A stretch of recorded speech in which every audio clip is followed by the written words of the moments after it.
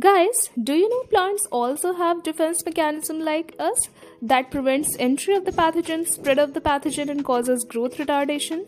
Do you want to know more interesting facts related to this defense mechanism? Then stay with me.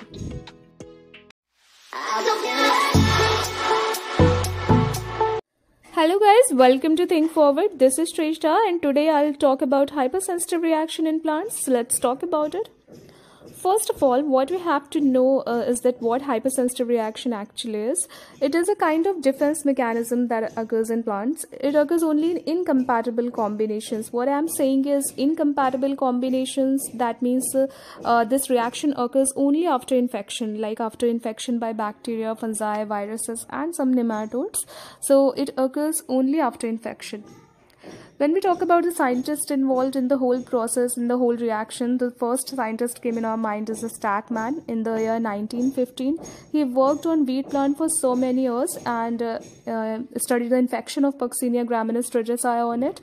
And he noticed that several dead tissues are found at the site of infection and the cells located near vicinity of the at the site of infection, uh, that cells are also affected by this reaction. So that's how he discovered hypersensitive reaction. Uh, these are the spots that appears on the leaves and other surfaces of the plant so that uh, the invading pathogen cannot enter the whole plant body. The patches of dead tissues are found around the pathogen uh, so that the pathogen cannot affect the whole plant. So the pathogen cannot move further and the growth of the pathogen uh, can be prohibited by this reaction. So this is a kind of resistance uh, that occurs uh, due to extreme sensitivity of the plant tissues due to which characteristic necrotic lesions develop. Necrotic lesions are kind of uh, patches of dead tissues uh, that occurs and that are started to develop at the site of infection. Uh, so these uh, necrotic lesions are very necessary step at the, for the prohibition of the pathogen entry. Uh, some examples uh, include some obligate parasites like rusts and powdery mildews that are easily seen in our surroundings. So, powdery mildews and rusts are more common examples of hypersensitive reactions. Other examples include late blight of potato. This is the hypersensitive reaction that occurs in the late blight potato leaf, and this one is the hypersensitive reaction that occurs in the tuber. The next uh, example is wart disease of potato that is caused by Synchytrium endobioticum and this wart-like swelling prevents the entry of the pathogen to the this side. So the whole potato tuber can be protected and this pathogen is prohibited in this area. So this is a kind of defense mechanism that protects the plants or tuber or fruits. Another example is the apple scab disease apple is got these um, warts and these uh, patches are developed in apple. Uh, this is a kind of hypersensitive reaction that uh, protects the whole fruit. And this one is the powdery mildew. These are the most common examples that can be easily seen in our surroundings.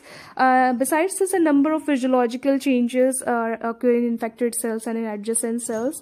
So the physiological changes also includes uh, the nutrient demand oxygen demand and some uh, internal changes occurs in plants not only the dead tissues are formed after infection also several changes are found in the hypersensitive reactions and most common such changes uh, in hypersensitive reactions includes loss of permeability of cell membrane. Cell membrane permeability is completely lost uh, so that the pathogen cannot enter uh, from cell to cell interaction.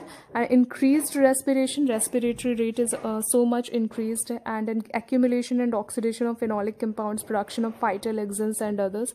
Phytoalexins are in general not produced in plants but are produced after infection by fungi or other pathogen. Uh, so these are the chemical substances that are found in plants and synthesized after infection. The end result of all these is death and collapse of the infected and perhaps a few surrounding cells. As I said earlier, uh, the uh, dead tissues are formed at the site of infection, but this, due to this reaction, the normal adjacent cells are also affected and died. Uh, that's why its name is hypersensitive reaction. After that, the pathogen can be isolated by necrotic tissues and die quickly. The reaction occurs in all the types of infections like fungal, bacterial, and uh, viral pathogens. So, all the types of infection, this uh, hypersensitive reaction is most common, and it is a kind of defense mechanism overall. Uh, we can see it is a kind of defense mechanism that protects the whole plant body.